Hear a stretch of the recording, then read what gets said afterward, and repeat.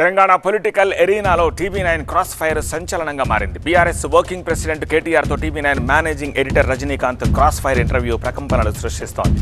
కాంగ్రెస్ బీజేపీపై ఆయన చేసిన ఆరోపణలు ఆ పార్టీల నేతలను షేక్ చేస్తున్నాయి. నెవర్ బిఫోర్ ఎవర్ ఆఫ్టర్ అన్నట్టుగా సాగిన ఈ రెండు గంటల ఇంటర్వ్యూలో కేటీఆర్ ఆరోపణలకు నేతలు కూడా ఘాటుగానే రియాక్ట్ అవుతూ ఉన్నారు. కవితను ఎన్నికల ముందు అరెస్ట్ చేయాల్సిన అవసరమే వచ్చింది అన్నారు కేటీఆర్. కేసు దర్యాప్తు చేయడానికి ఇంత సమయం ఎందుకన్నారు? అయితే దీనికి బీజేపీ నేత మురళీధర్రావు కౌంటర్ ఇచ్చారు.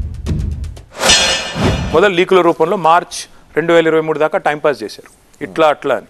ఇరవై మూడులో కవిత గారిని విచారణకు పిలిపించారు సాక్షిగా పిలిచారు.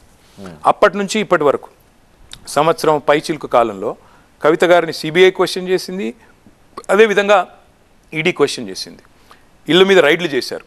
మొత్తం ఆమెకు సంబంధించిన వాళ్ళందరినీ కూడా అందరినీ పిలిచారు ఒక్కరిని కాకుండా. ఇప్పుడు నిజంగానే ఈడీ దగ్గర కవిత తప్పు చేసిన ఆధారం ఉంటే ఎందుకు ట్రయల్ స్టార్ట్ చేయట్లేదు? ఎందుకు ఈ డైలీ సీరియల్ లాగా డ్రామా ఆడుతున్నారు? ఎందుకు ఎలక్షన్ల ముందే అరెస్ట్ చేయాల్సిన అగత్యం వచ్చింది? ఎందుకు రెండు సంవత్సరాలు పడుతుంది ఒక కేసుకి? మీరు ఒకటి అర్థం చేసుకోండి.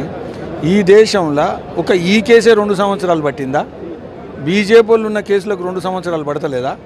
కాబట్టి సమయం పట్టడం ఏదైతుందో ఈడ ఇది కేవలం బీఆర్ఎస్ నాయకుల కోసం పడతలేదు. ఇంకొకటి ఇన్వెస్టిగేషన్ చేసేటోళ్ళు ఎన్నికలు వచ్చింది కాబట్టి బంద్ చేయాలా? పండుగ వచ్చింది కాబట్టి బంద్ చేయాలా?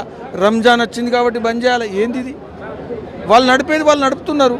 ఇన్వెస్టిగేషన్ చేసేటోళ్ళు క్రిమినల్ని పట్టుకునేటోళ్ళు ఒక ఫైనాన్షియల్ స్కామ్ను పట్టుకుంటోళ్ళు పండుగ వచ్చింది కాబట్టి పట్టుకోవద్దు ఎన్నికలు వచ్చింది కాబట్టి పట్టుకోవద్దు అంటే ఏంటిది? మూడు వందల అరవై రోజుల్లో ఒక వంద రోజులే పట్టుకోవాలనా?